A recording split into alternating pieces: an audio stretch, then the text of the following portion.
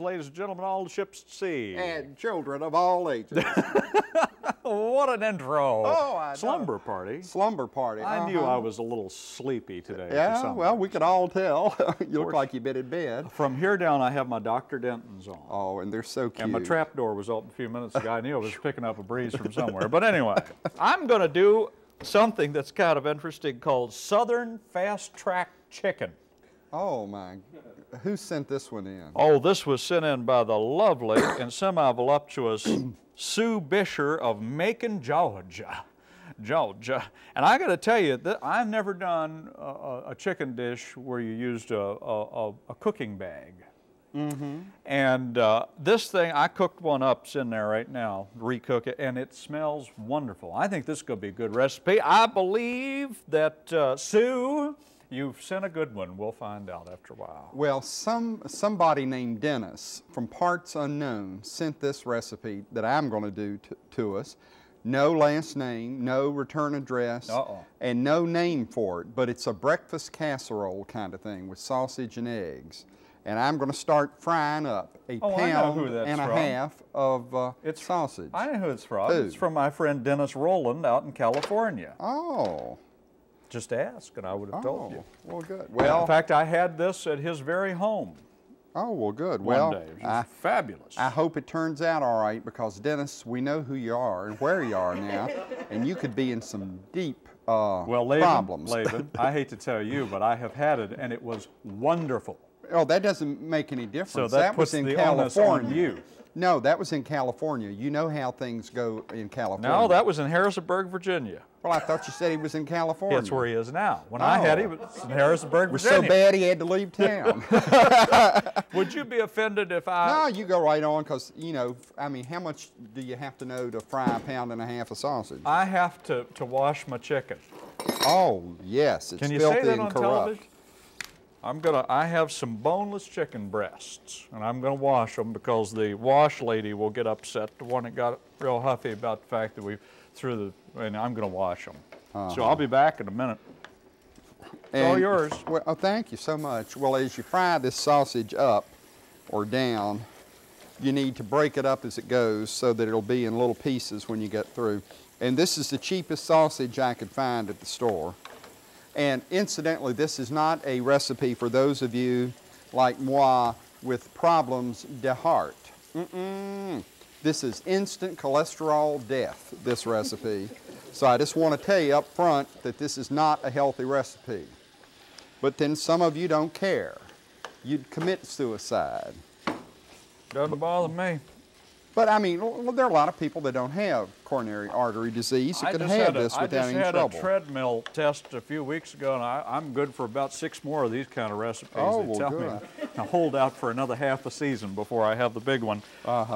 Uh, I have taken these chicken breasts and I have washed them, and I put them in this, and now I'm going to take just some plain old off-the-shelf, zesty Italian. In fact, I have some reduced calorie dressing, uh, and I'm going to put that over top of it. You know, it would seem to me like, although it does not say that you should do this, it would seem it would be a good idea if you just uh, stick this chicken in it and then just marinate it for a yeah, while in just stick the chicken in it. So that's what I'm going to do. Well, you remember we did bit. that uh, recipe from Doug Perlman where we uh, marinated the uh, chicken in uh, Italian dressing Don't and remember that, but- Remember we barbecued it in my backyard. Huh.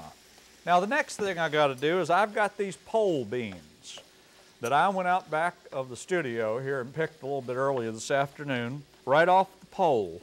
And you know what you have to do with those? For those of you too ignorant to know that these don't come in cans, what you have to do, this is what they look like in their natural state. And you, you pluck the ends off of them and then you snap them in half. And I'm going to do about a pound of those, a, a half a pound, pardon me. Just take them and click, click, snap, snap, and you got it. Now, so I'm going to be a little while doing this. Back to Mr. Johnson. Well, while our sausage is frying, we've got seven slices of bread, just plain old white bread, and it has to be cubed. So I'm going to cube it, cut it each slice in four pieces that way, and then turn it this way and cut it in four, and you got it cubed. And you put it over in a bowl, and while you're doing this, you melt half a stick of margarine. I suppose you could use butter this time since you got all the other stuff in here, but I'm using margarine because that's what I had. And you want to cube all seven slices of white bread.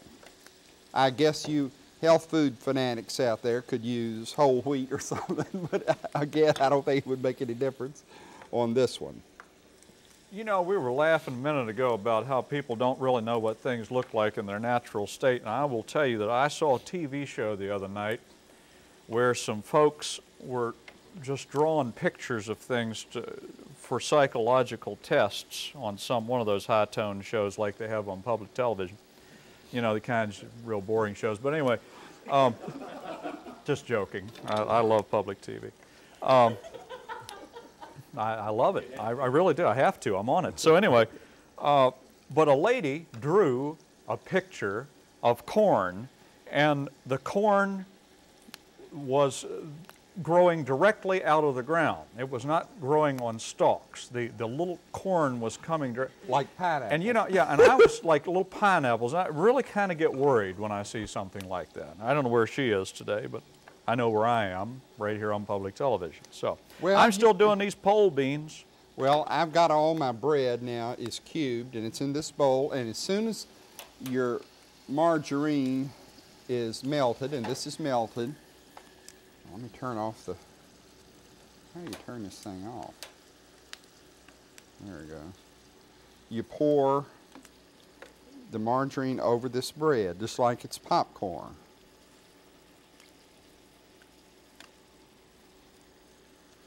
That thing is still on. Oh well. There it is, it's off. And uh, isn't this exciting? You're shelling the beans, and I'm. Now you got to keep this sausage stirred up. Here, let me stir it some more. Oh me! And now I've got to grate a half a pound of cheddar cheese, and I'm using a sharp cheddar because I like sharp better than I do mild. As do I. And so here's my grate this baby Boy, up. this is a slumber party. Well, it is. well, I mean, you know, the, well, you sparkling do, repartee, you got to do what you got to do. There are certain things in the kitchen. Let me ask you this. Are you always funny in your kitchen? Well, some people think so. and I'm even more hilarious in other rooms. Uh, I've heard that too. But anyway, just going along here, the chicken is just marinating and the pole beans is polling. And the viewers and are insulting. Chickens are chicken, and the viewers are revolting, but then they always were. Oh, me. So anyway, we're just continuing on. I, you know, I don't use uh, baking bags very often. Do you? No, I don't. It's something I just I used to use them doing. a lot, and they were real handy and everything, but... But what happened? Did they become unhandy? No, I just I don't know. Did you I, have one turn on you? What? No, I just didn't buy them anymore. I don't know why. Just stop buying them. I mean, they I, they always seemed like they were a good recipe. I mean, mm a good idea yeah. and yeah. a product well worth having in your larder or in your pantry or whatever you want to call it.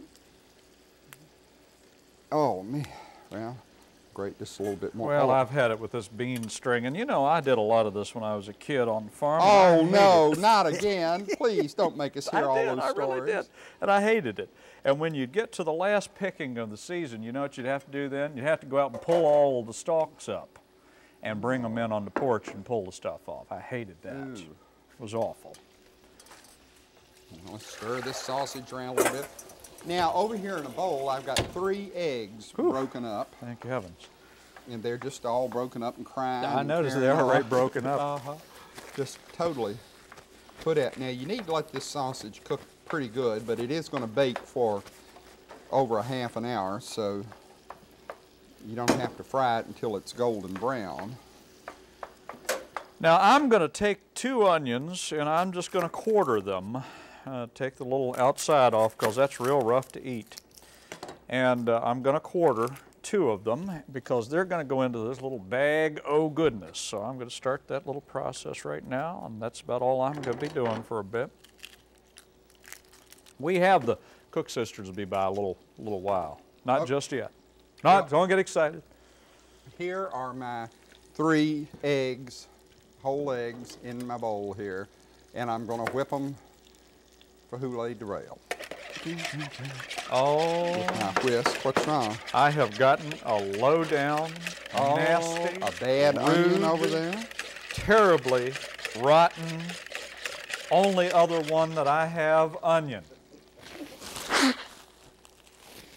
One onion quartered in this recipe. Oh, I should that terrible? always know to bring along an extra onion. I don't know why, I just never think of it. But I didn't. Go ahead, Laban. Well, you know, we used to have a bag of them hanging there, but they kept growing green. and- All right, now to these three eggs that have been whipped, I'm going to add one cup and one half of milk.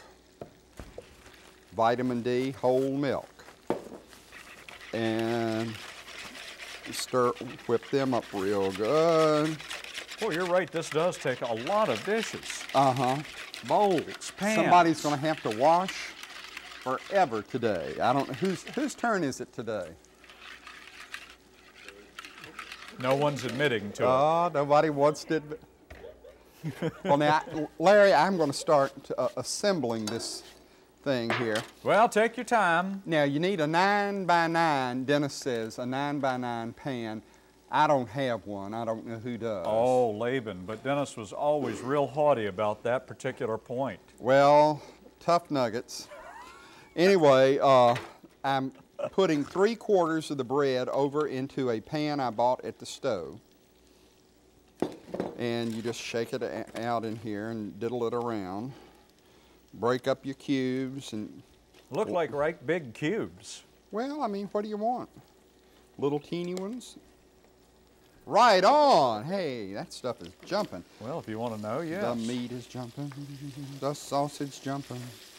Sure is hot. Look at that. While he's singing, uh, I'm going to take some potatoes now, and I'm going to. You're supposed to use. You're supposed to use six small to medium new potatoes. Now, I couldn't find any yesterday, so I'm just going to use some regular potatoes, but I am going to quarter them also. And that's all I'm going to do for right now. Well, you know, we're having so much trouble with produce. We're not in one of the big urban areas where they've got just millions of, of people coming in and with uh, fresh vegetables day by day, you know, on an annual basis. We don't have that here. And so I'm amazed Larry found the beans. They did have pole beans. I was surprised, and I had my own potatoes. Dug them up myself last summer. So these are my potatoes. you I- yeah, that's true. I didn't have to depend Where- on where anybody did you for dig my potatoes. from? From my business partner's land. Oh. You want to know the exact location? You want me to produce a yeah. map? Uh huh. And that's that. I know where it is, where the blackberry Mhm, patch That's right is. down the blackberry patch. Mm -hmm. So, that's where I got All from. right, here we go. Ba-dum, ba-dum, ba-dum. And also, by the way, while things are a little dull here at our slumber party, Well, I'm now- going to take this. I'm going to take this little uh, thing of uh, Clove. Uh, no, it's not a clove. Do you know what you say it is? A clove of garland squashed. Oh, that's why it says garland squashed. But that is a clove. and you may want to insert that clove. Yeah, it Mm-hmm. is. I was only kidding. Don't get haughty. I was only kidding. I'm going to put that in there in anticipation of squishing it a little later on. Uh huh. Oh, you're not going to pre-squish it, huh? I just wanted to do something. I thought, Oh, you know, you're still diddling around Well, I mean, it takes you a while I know. to fry this true. sausage That is true. until it's done. That is true. You don't want anybody dying a piece of bad sausage. That's right. That's true. And it's going to be done.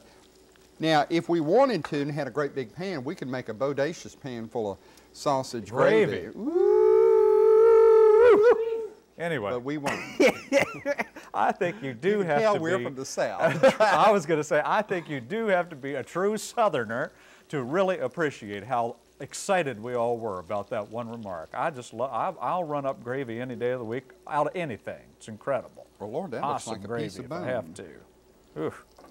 Anyway, well, while we're waiting for that uh, to uh, sort of cook up, and before I start assembling mine, perhaps we ought to have our visit from the Oh, yeah. Cook sisters. The you know. delightful old girls. They're and always They, were talking about using what they had today to take you out behind the barn with. They'd never do that. Oh, yes, they would. Although I do think they have a paddle of And some you deserve it. as I recall. Oh, Sess, Ah, ah, I, oh. I think a hummingbird's flown in there. No, no, it's Oh, just a big old moth. Well, yeah, I guess you're right. Moth- Hey, moth eaten. I brought another toy along out onto the porch.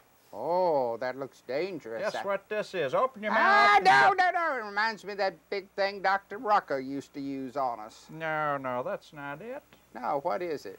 Well, it's it's a butter paddle. Oh, no, it isn't. What is it? No, no, no. It, it, it's that paddle the principal had over to the school to use on Baby Ray, the school midget. Oh, no, they never used that on the. I'll swear I knew she'd bring up that midget just 'cause I went with him. Listen, let me tell you, this is a butter paddle. Oh. You know, when they get the butter all close to being ready, they smack it into submission with this to get all oh. the liquids out of it and put the salt in I it. I see. I thought it referred to being the location it was used on you. I'm Sister Cook. And I'm Tootsie Cook. And, And we're the Cook sisters. oh, amazing. Well, I want to start taking off my sausage here. Take off your sausage. And you want to let it drain so all the natural juices are pouring out here. And then you just sprinkle it over your bread cubes. what are you laughing about? I don't know. well, you know it is funny. Uh, it is a good recipe, I will tell you that, but it seems to be like an awful lot of trouble. Could you fix this ahead of time and put it in your refrigerator? I don't think so. Bring it out. At, I don't huh? think it would be You- you good. well, you'd have to get up four o'clock in the morning to serve anybody this well, dish. no, I mean you can do it in a half an hour. I noticed Dennis was right. He was worn out. tired by the time I got to breakfast. He was serving a whole bunch of people that day. That's all right. Mm-hmm. Dennis, by the way, is indeed watching this show for the first time out in California, so I hope you see your recipe. and I hope you don't sue us. Well, who cares? Oh! Go ahead and run All up right, some no, gravy. I am. I'm going to. I'm We going need some dump gravy. out some some of this grease here. Oh, no, not in that plastic. Oh, my gosh. No, it isn't.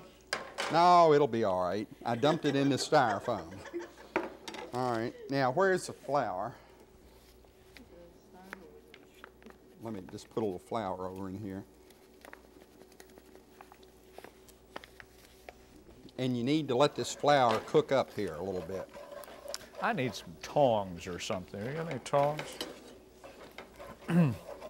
Now, while this flour is cooking, now we come back over here to the casserole, and after you have uh, put all your sausage in there, now you want to sprinkle your cheese over your sausage.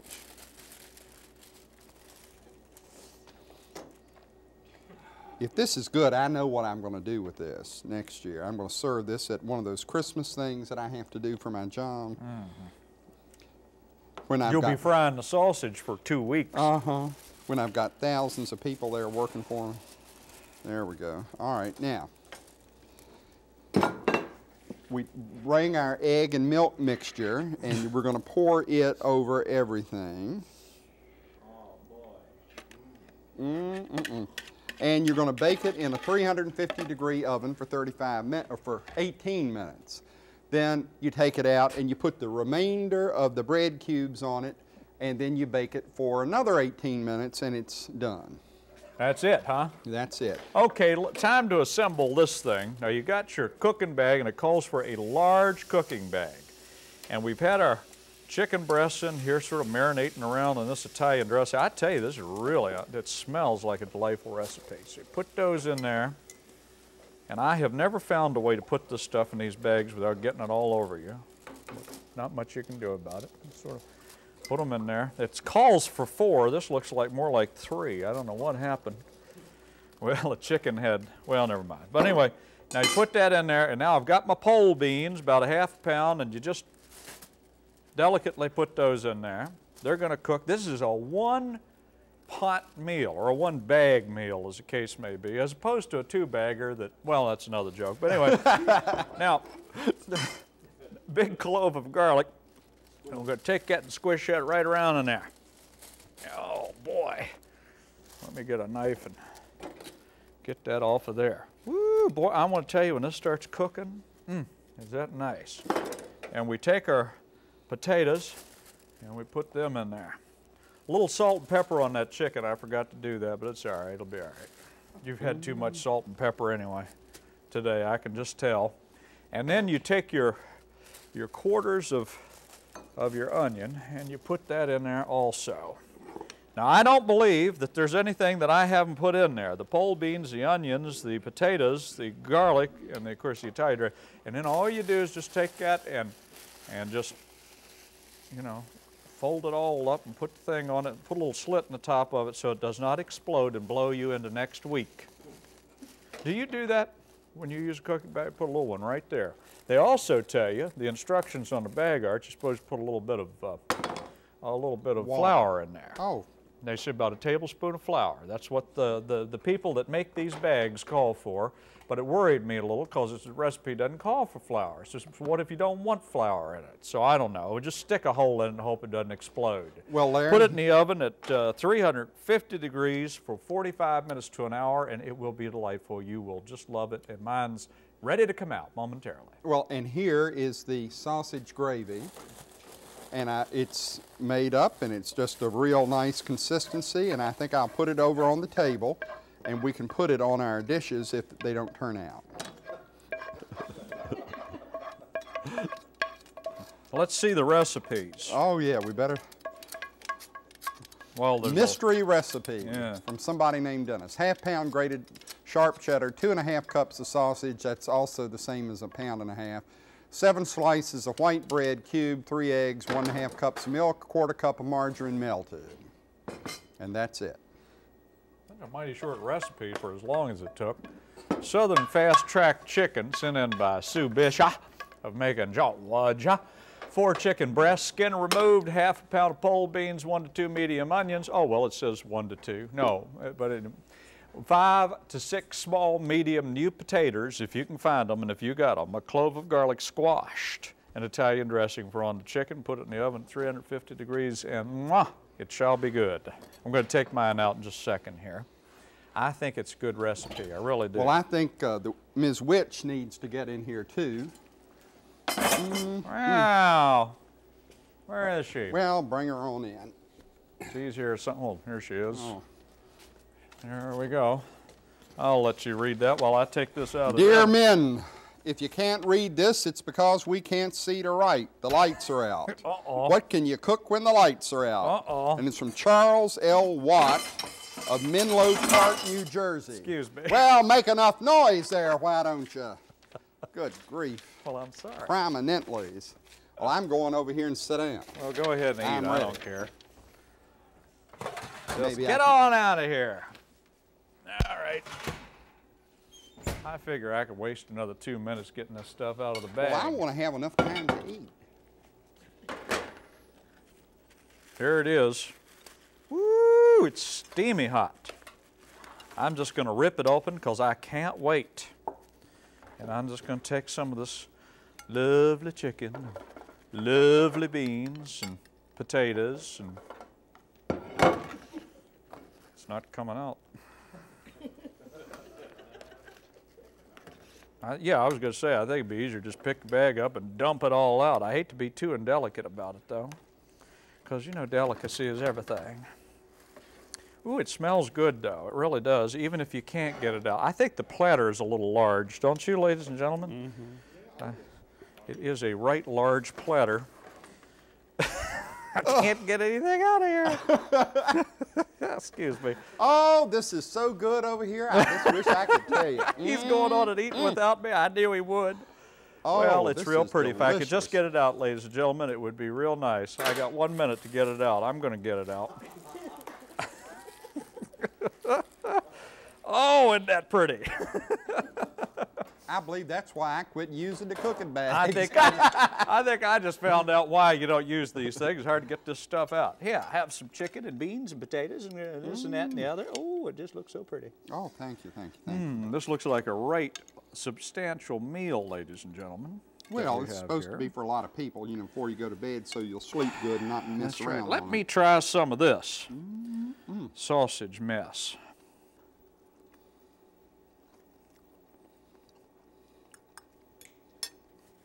Not as good as Dennis's.